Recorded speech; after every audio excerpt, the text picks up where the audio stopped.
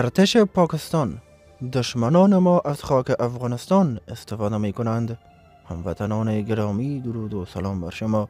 خوش آمدید به یکی دیگر از ویدیوهای خبری این کانال. ارتش پاکستان.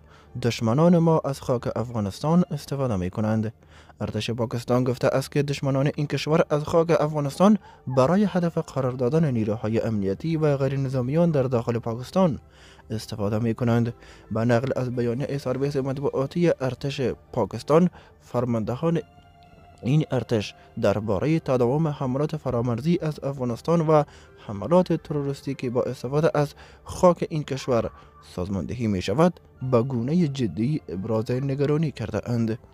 با تشکر که تا اخیر این ویدیو با ما همراه بودید. تا ویدیوهای دیگر الله یار و مددگارتان. اوقات خوش داشته باشید و این channel را like و subscribe نمایید تا از ویدیوهای جدید و روزانه ما با خبر شوید.